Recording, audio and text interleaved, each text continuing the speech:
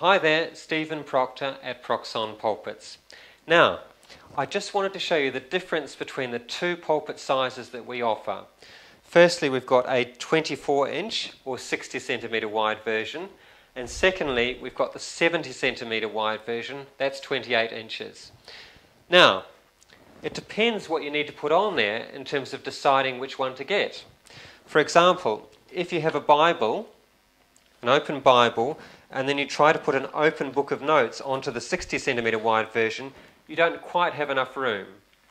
On the other hand, those two things on the 70 centimetre wide version fit just nicely. You've also got a little bit of space up the top.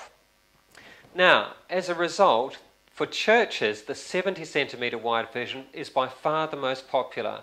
About 70% of churches get this one.